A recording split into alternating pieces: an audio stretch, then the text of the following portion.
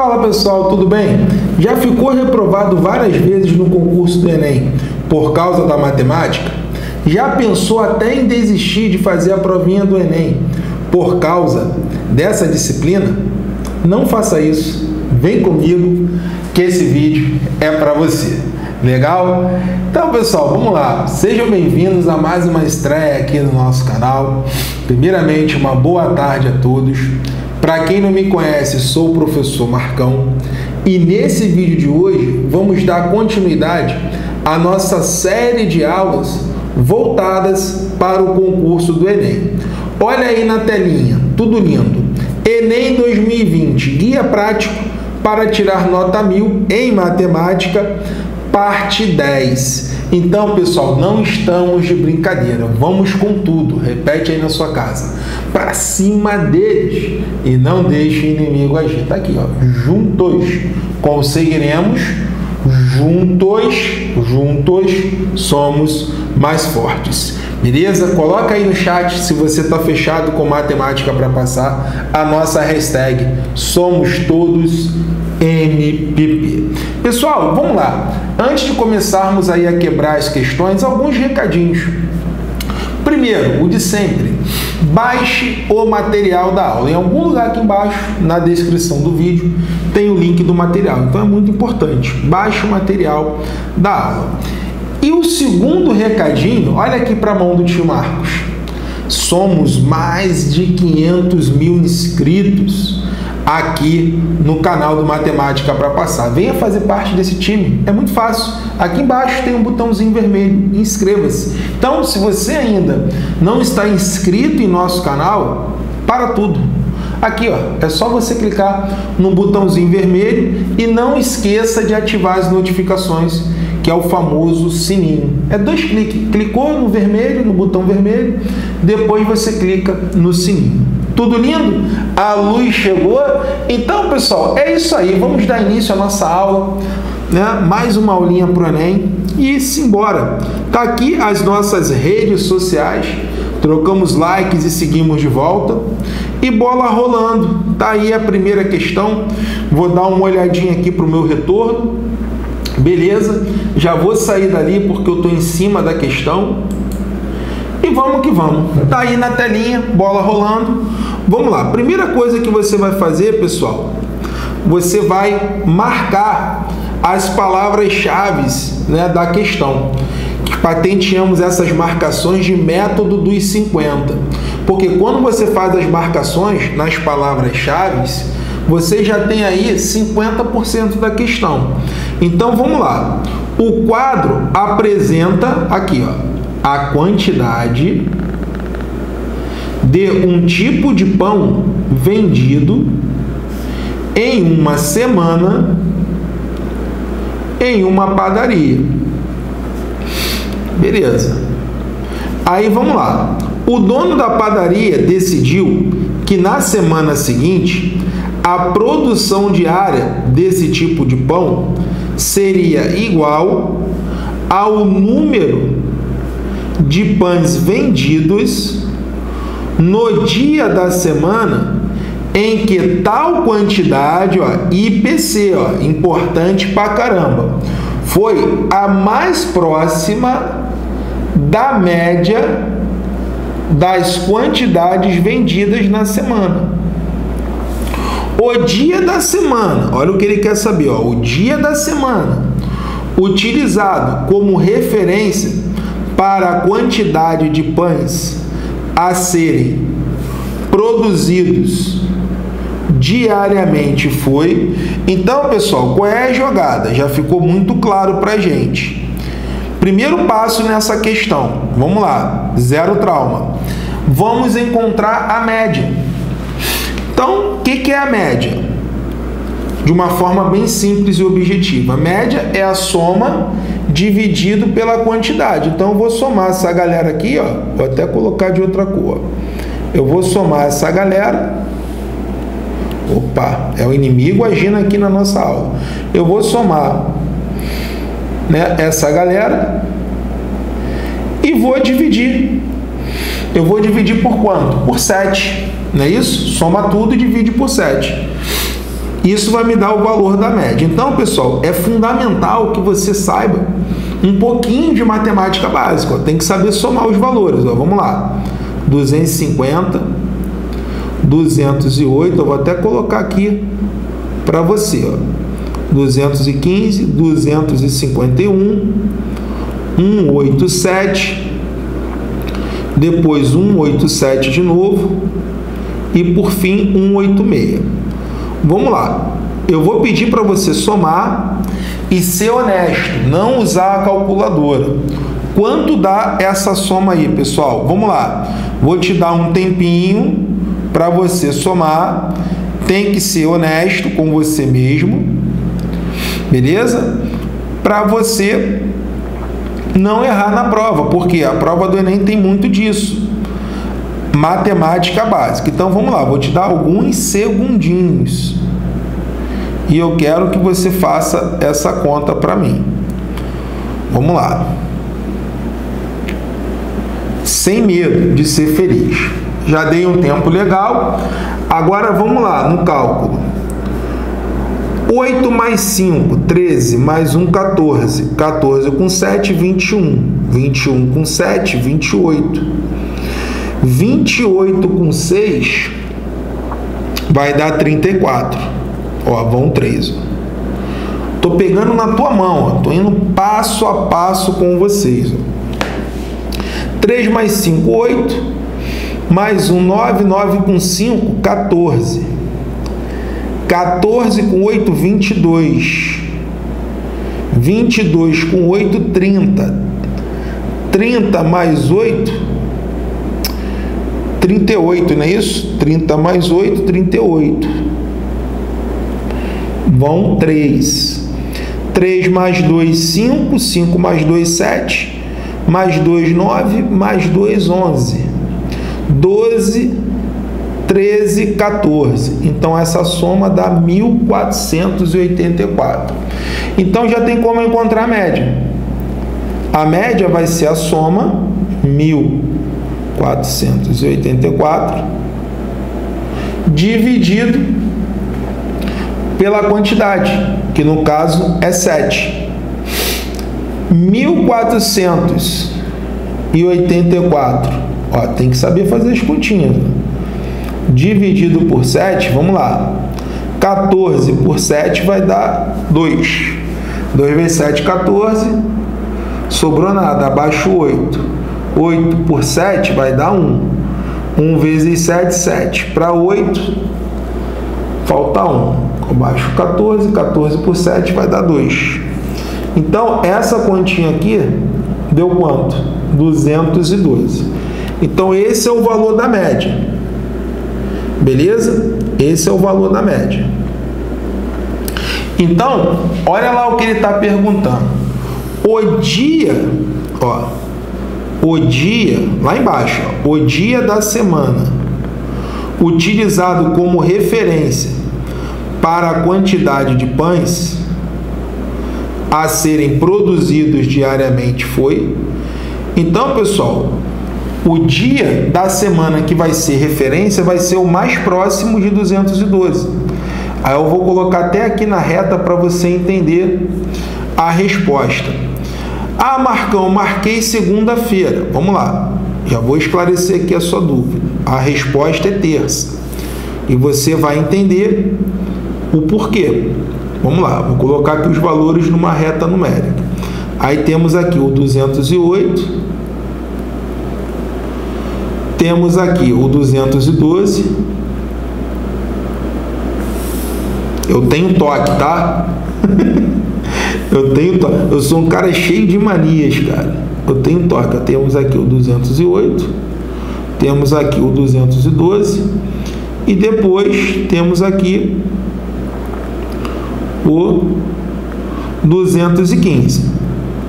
Essa é a dúvida da maioria dos alunos. Pô, Marcão, a resposta é segunda-feira ou a resposta é terça-feira? Vamos lá. Na reta numérica, a gente mata essa dúvida. Qual que está mais próximo do 212? O 208, ele está a 4 unidades afastado. do 212. E o 215, ele está 3 unidades afastado do 212. Então, com certeza, quem está mais próximo é quem? É o 215. Então, se o 215 está mais próximo, qual é a nossa resposta? Terça-feira. Legal? Gabarito, letra C. C de churrascão da aprovação. E aí, ficou bem explicadinho? Vocês gostaram? Essa aula está sendo importante para você? Dá o seu likezinho, dá o seu gostei e enche aí de comentários. Vamos lá, beleza? Isso é muito importante para gente. Agora, pessoal, próxima questão. Saímos né, da estatística básica Questão de média muito batida, sempre cai uma na prova do Enem, né? esse conceito né, da estatística básica, média, moda e mediana, alguma coisinha de desvio padrão e variância, mas o grosso mesmo está ali, média, moda e mediana. Então a primeira questão ela foi de estatística básica. Próxima questão, pessoal, já é de matemática financeira, uma questãozinha de juros simples. Vamos lá? O que, que diz a questão? Deixa eu pegar aqui o amarelo, eu gosto do amarelo. Um rapaz possui um carro usado, preste atenção, ele possui um carro usado. E deseja utilizá-lo como parte de pagamento, ó, método dos 50, eu estou fazendo as marcações, na compra de um carro novo. Ele sabe que mesmo assim terá que financiar, ó, IPC, ó, importante pra caramba. Vai ter que financiar parte do valor da compra. Depois de escolher o modelo desejado, o rapaz faz uma pesquisa sobre as condições de compra em três lojas diferentes. Em cada uma é informado o valor que a loja pagaria por seu carro usado. No caso de a compra ser feita na própria loja. Nas três lojas, importante, são cobrados juros simples sobre o valor a ser financiado. E a duração do financiamento é de um ano. O rapaz, presta atenção, o rapaz escolherá a loja em que o total em real a ser desembolsado será menor. O quadro resume o resultado da pesquisa. A quantia a ser desembolsada pelo rapaz será. Então, pessoal, vamos lá. Qual é a jogada aqui? Ele vai dar o carro dele de entrada e vai financiar o resto. Ou seja, vamos supor que o carro dele custe 15 mil reais, tá? Estou dando uma suposição aqui para você entender a questão. O carro dele custa 15, só que ele quer comprar um carro novo que o valor é de 20 mil reais. Então ele vai financiar quanto? 5. Vai fazer a diferença, né? E essa diferença ele vai financiar. Ficou claro isso para você? Essa é a ideia da questão. E esse financiamento vai ser feito a juros simples. Então vamos lá, vamos colocar isso em prática. Deixa eu sair daqui e vamos lá. Ó, o carro A. Deixa eu colocar agora aqui outra cor para a gente entender. Loja A. Na loja A, qual foi a situação da loja A? O carro dele custa 13.500. Ó, o carro dele custa 13.500. O carro novo 28.500. Então, quanto ele vai financiar nessa loja? Aí eu vou fazer a diferença. 28.500. Vou até colocar aqui, ó, loja A. Quanto ele vai financiar? Qual é o capital que ele vai financiar na loja A? Aí eu tenho que ver a diferença. 28.500 menos 13.500. 28.500 menos 13.500 vai dar 15 mil. Deixa eu ajeitar aqui, que eu tenho toque. 28.500 Vamos lá, 28,500. Bugou. 28,500 menos 13,500. Menos 13,500. Isso aí vai dar 15 mil. Legal. Aí o que, que a gente vai fazer agora? Vamos aplicar a formulazinha dos juros simples. Qual é a formulazinha dos juros simples? É CIT sobre 100. Essa é a formulazinha dos juros simples. CIT sobre 100. Então vamos lá. Juros A. Quanto ele vai pagar de juros na loja A? Vai ser capital. Qual o capital que ele vai financiar? 15 mil. Vezes a taxa, que é 18 vezes o tempo, que é um ano. Tá aqui, ó. Isso tudo dividido por quanto? Por 100. Beleza? Vou passar o facão ali, ó. Pou, pou, pou, pou. E vou multiplicar ali a bagunça. Então, juros A vai ser igual a 150 vezes 18 150 vezes 18 vai dar 2,700. Então, o montante, né, o montante é o que ele vai pagar. Então, se ele escolhesse a loja A, quanto ele pagaria? Montante, vou colocar aqui, ó, montante é o capital mais o juros. Então, ele pagaria na loja A 15 mil, que é o valor do financiamento, mais 2,700. Isso aí daria 15 mais 2,700 daria 17,700. Legal. Aí eu vou colocar aqui os valores do lado. Então, a loja A ele pagaria quanto? 17,700. Beleza. Agora eu vou apagar tudo isso aqui e vou fazer o cálculo da loja B. E assim a gente vai para poder comparar. Vamos lá. Agora, se ele escolhesse a loja B, quanto ele pagaria? Marcão, calma, o vídeo vai ficar aí. Você tem o poder do pause, você vai poder revisar toda essa matéria tranquilamente. Fique calmo. Né? A gente não tira o vídeo, vai ficar aí o vídeo para você. Vamos lá. Loja B. Qual o valor do carro dele na, nessa, nesse caso, na loja B? O carro seria 13 mil. E o valor do carro novo, 27 mil. Então ele vai financiar quanto, pessoal? Ó, loja B. Qual é o capital que ele vai financiar? Para saber o capital, a gente faz a diferença. 27 mil menos 13. Coloca aí no bate-papo para mim. Qual é o valor que ele vai financiar agora? Quanto dá 27 mil menos 13? Vamos lá, enquanto eu molho a palavra aqui.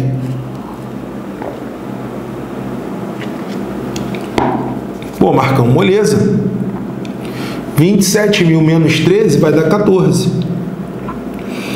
Então, esse é o valor que eu vou financiar. Então, juros da loja B vai ser 14 mil, que é o capital, vezes a taxa, qual o valor da taxa agora? 20. Vezes o tempo, que é 1, sobre 100. Aí eu vou passar o facão aqui nos zeros, ó, tudo lindo. Pou, pou, pou, pou. E vou enxugar a bagunça. 140 vezes 20. Foi o que sobrou ali, vai dar 2.800. Legal. Então, quanto ele pagaria? É o montante. O que, que é o montante? É o capital, 14, mais 2.800. Tudo lindo, zero trauma. 14 mais 2.800 vai dar 16.800. Então, na loja B, ele pagaria 16.800. Então, com certeza, a loja A já está descartada. Eu vou até tirá-la daqui. Por quê? A loja escolhida vai ser aquela que ele desembolsará um valor menor. O desembolso será menor. Né? A loja escolhida vai ser aquela em que um desembolso né, será menor. Então a loja A já está fora. Aí vamos lá. Como a gente não tem bola de cristal, engole o choro e vamos agora para a loja B. Vamos lá. Loja B. Loja B não, loja C, perdão. Loja C. Valor oferecido pelo carro usado. Oferecido pelo carro dele nessa loja 12 mil. Só que o carro que ele quer custa 26.500. Então vamos lá. Loja C. Qual vai ser o valor financiado? Já coloca aí para mim no bate-papo. Quanto dá 26.500 menos 12 mil? Já coloca para mim aí o valor. Quanto dá 26.500 menos 12 mil? E aí, pessoal, quanto dá essa continha aí? Vou te dar alguns segundinhos para você colocar 26.500 menos 12 mil. Isso aí vai dar, tio Marcos, 14 e 500. Legal. Então esse é o valor que vai ser financiado. Esse é o capital. Então, juros C vai ser 14.500 vezes 19, que é a taxa, vezes 1, que é o tempo. Isso dividido por 100, ó. Facão aqui nos zeros, ó, tranquilão, ó. Pou, pou. Pou, pou. Agora eu vou enxugar a bagunça. Vai ficar 145 vezes 19. 145 vezes 19 vai dar 2.755. Então, qual é o montante? Quanto ele pagaria nessa loja? O montante é o valor que ele vai pagar. O que, que é o montante? É o capital, 14.500 mais os juros. 14.500 mais 2.755 vai dar 17.225. Esse é o valor que ele pagaria. Vou colocar aqui, ó, montante da loja C, 17.225. Então, pessoal, qual loja ele vai pagar o menor valor? Coloca aí no bate-papo para a gente dar o fatality. É a loja é a loja B ou é a loja C? Pô, Marcão, com certeza é a loja B. Porque na loja B o desembolso o desembolso é menor.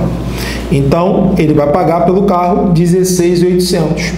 Gabarito, letra C de churrascão da aprovação. Então, pessoal, essa segunda questãozinha ela foi clássica, né? Questãozinha de matemática financeira que sempre cai, sempre cai na prova do Enem. Beleza? Passamos agora para a próxima questão. Vamos lá. Essa questão agora, pessoal, é de matemática básica, são cálculos. Tem um texto grande que o aluno, infelizmente, tem que ler. Né? Algumas questões dá até para a gente pular o texto, mas nesse tipo de questão, onde não tem tabela, onde não tem gráfico, geralmente o cara tem que ler tudo para ele poder entender o que a questão está pedindo. Então vamos lá. Deixa eu voltar aqui para o amarelo. Sem querer, corococó, assim embora. Uma empresa de entregas presta serviço. Deixa até eu voltar, dá para voltar para cá para o cantinho. Presta serviços para outras empresas que fabricam e vendem produtos. Os fabricantes do produto podem contratar entre dois planos, ó, então os fabricantes do produto podem contratar um entre dois planos oferecidos pela empresa que faz as entregas. Então existem dois planos.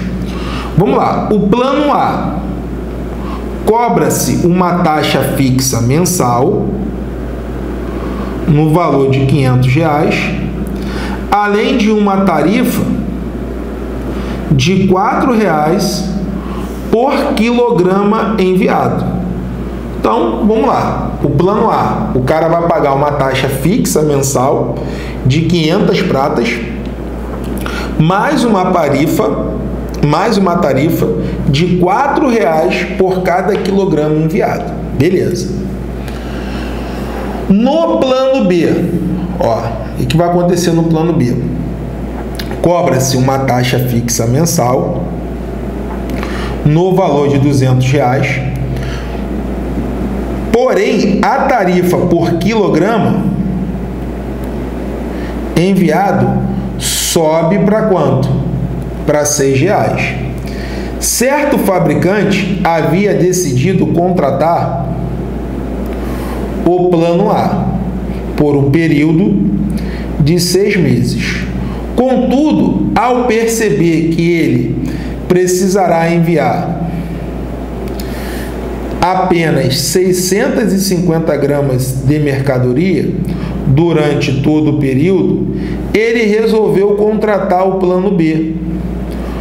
Qual alternativa avalia corretamente a decisão final do fabricante de contratar o plano B. Então, ficou bem claro. O que a gente tem que fazer aqui?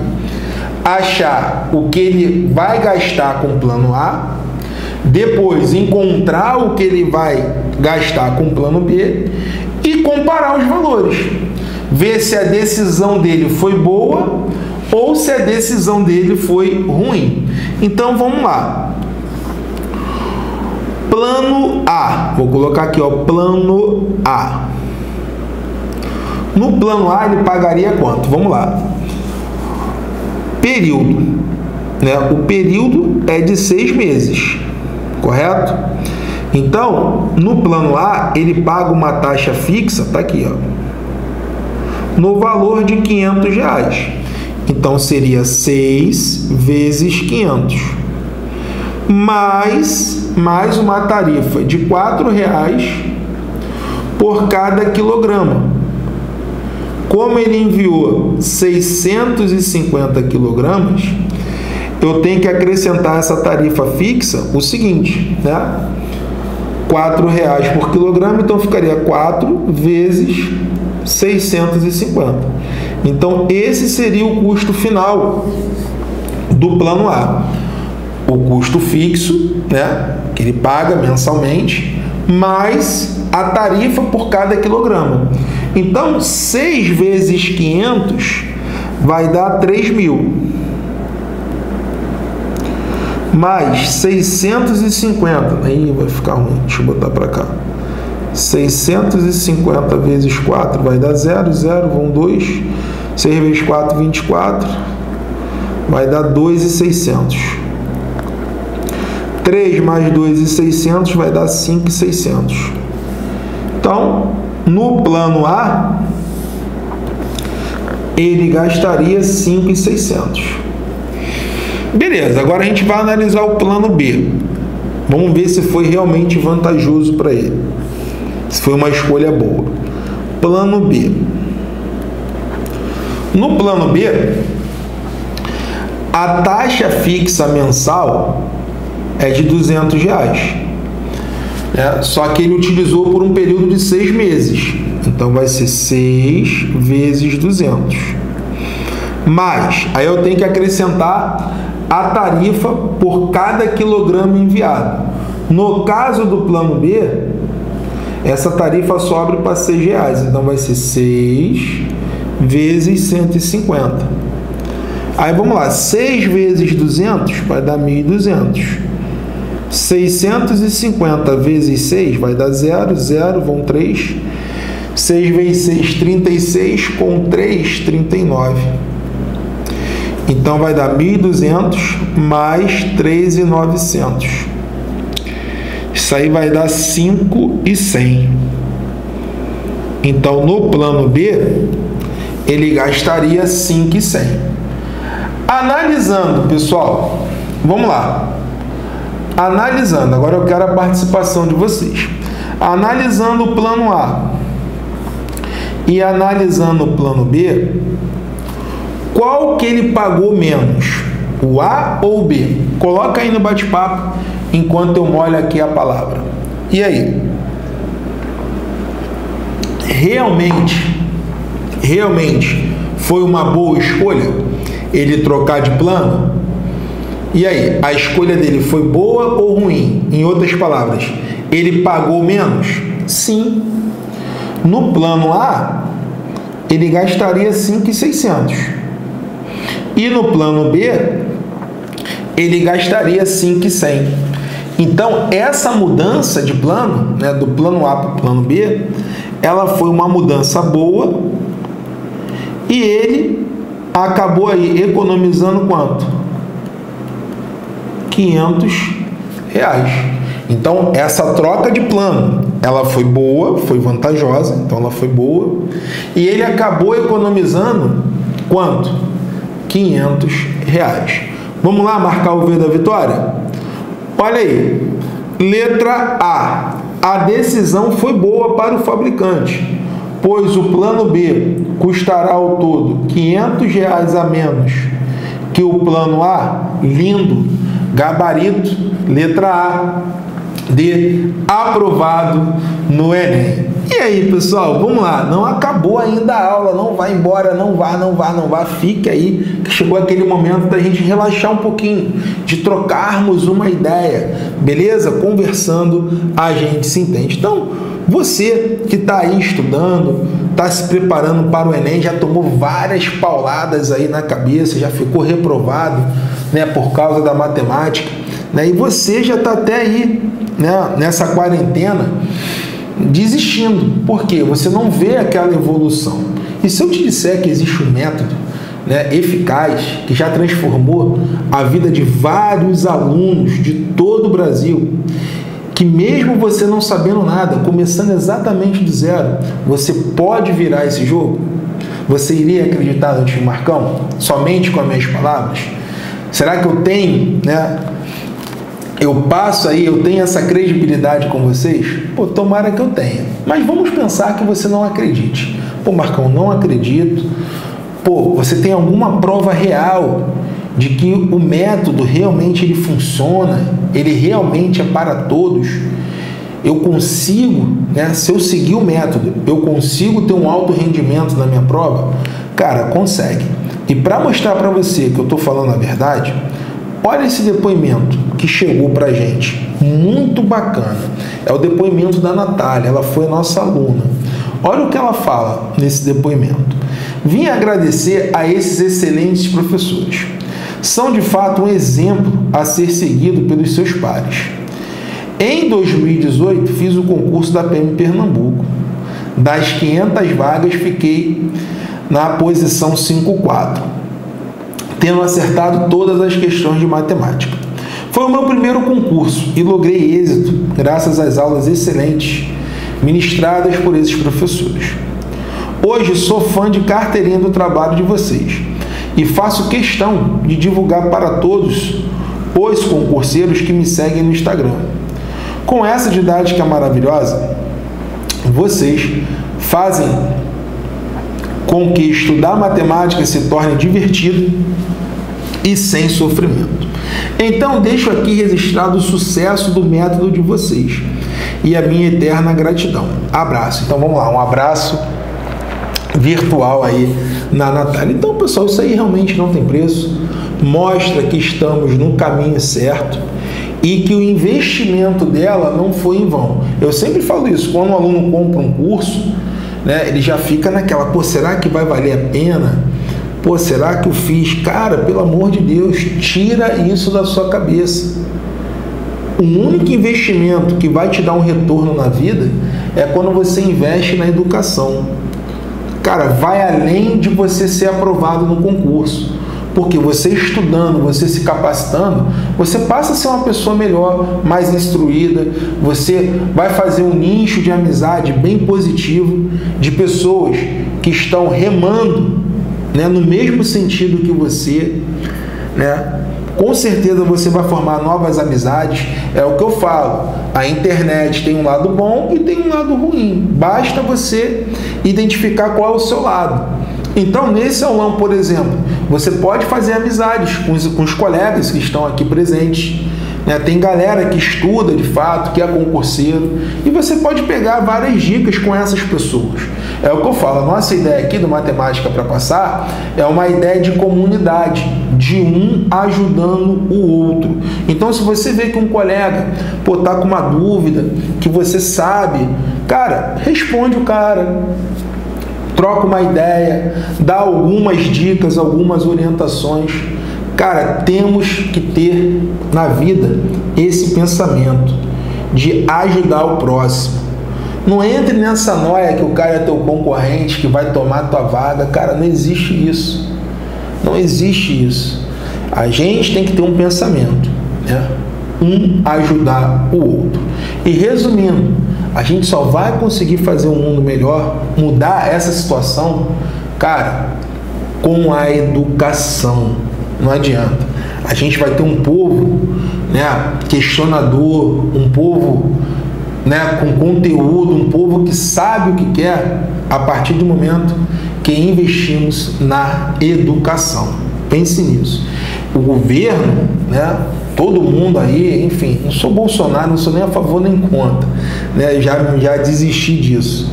Eu acho que o governo, né, ele tem que investir na educação, né, passando esse momento de pandemia, tudo mais, para a gente ter um mundo melhor, cara, é educação, não tem jeito. Beleza? Foi mais um desabafo agora, mas simbora. Como eu falei, a nossa aula não acabou e vamos lá. Fique até o final porque eu tenho um recadinho né, para dar para vocês. Vamos lá, próxima questão aqui é de PA. Olha aí, questãozinha clássica. Ó. Um ciclista participará de uma competição e treinará alguns dias da seguinte maneira: no primeiro dia, vai pedalar 60, no segundo dia, a mesma distância, mais R, ó, é constante. No terceiro dia, a mesma distância do segundo mais R, e assim sucessivamente, sempre pedalando a mesma distância do dia anterior mais R. Então é uma PA. No último dia, o cara percorreu 180 quilômetros, completando o treinamento com um total de 1.560 quilômetros. Ficou afastado ali, né?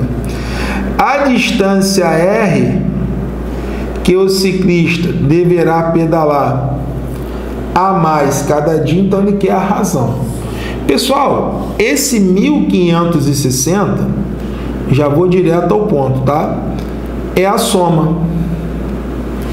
Beleza? É a soma do que ele fez todos os dias. Né? Somou o primeiro, o segundo, o terceiro, até o enésimo dia. Então, qual é a jogada? A gente tem que descobrir o valor do N. Ó, soma dois termos de uma PA.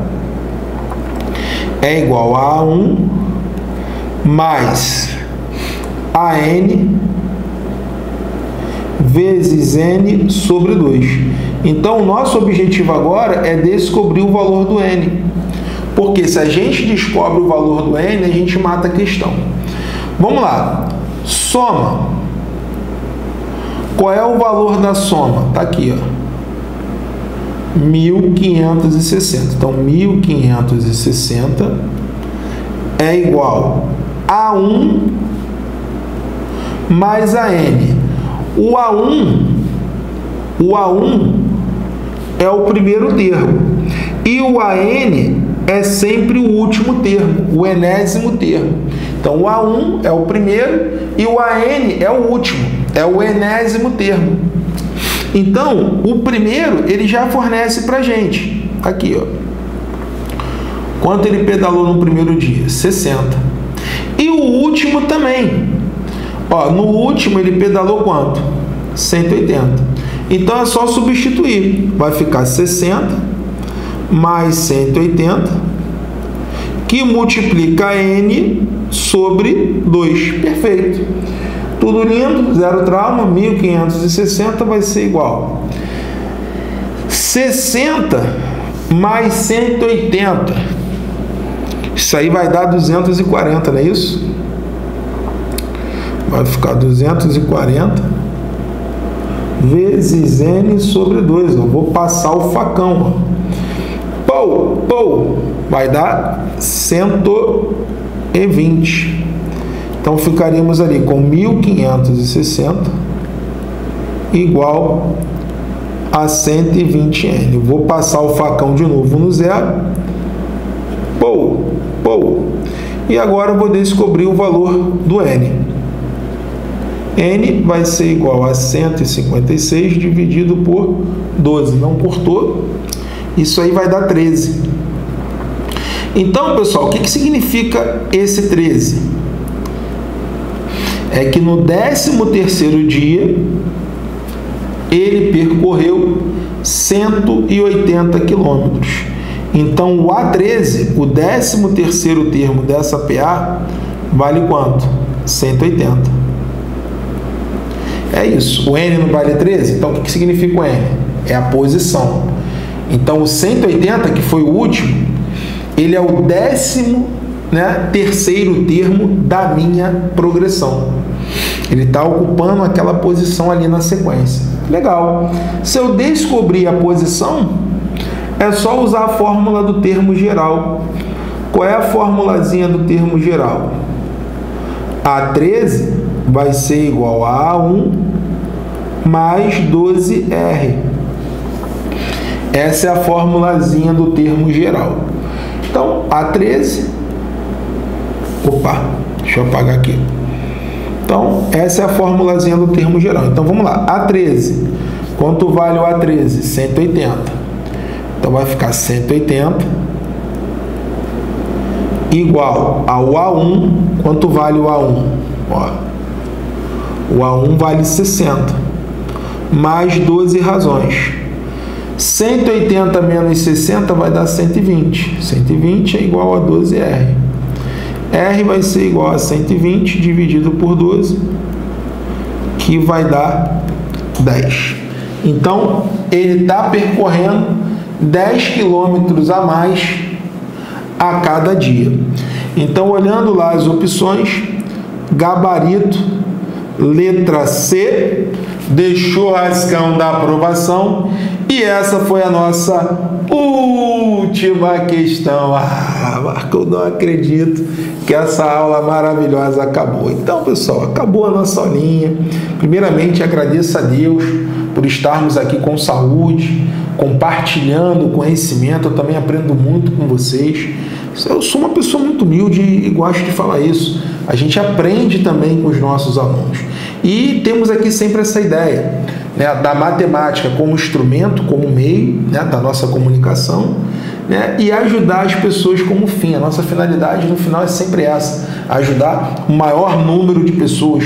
Por isso que pedimos sempre, sempre, sempre para você deixar o seu gostei. E no final desse vídeo deixar um comentário, porque o robozinho do YouTube vai ranqueando o nosso vídeo na medida que aumentam né, os comentários, aumentam aí né, os likes. Então isso é muito importante para a gente. Você não sabe como. Agora vamos lá, vamos trocar uma ideia maneira e bem objetiva. Tá aqui, ó. Esse é o nosso curso do Enem. E esse curso, pessoal, ele com certeza vai te levar para um outro nível. O nosso curso ele é totalmente organizado né, nas sequências das aulas que você tem que estudar. Então eu acho que a organização é tudo. Nesse curso você vai aprender o método MPP na íntegra, né? A gente vai ensinar você passo a passo o método MPP, onde esse método com certeza vai eliminar as duas principais objeções que fazem você não ter um alto rendimento no concurso do Enem, que é a questão da interpretação das questões e a, e a situação do tempo. Então a gente vai eliminar essas principais objeções e você ó, vai decolar. Com certeza no que vem eu vou estar. Tá, vamos receber aqui notícias né, que você passou num vestibular de ponta, que você passou para medicina, que você passou para direito. E como eu falei, isso vai ser muito gratificante, porque vamos ter a certeza que estamos no caminho certo para ajudá-los.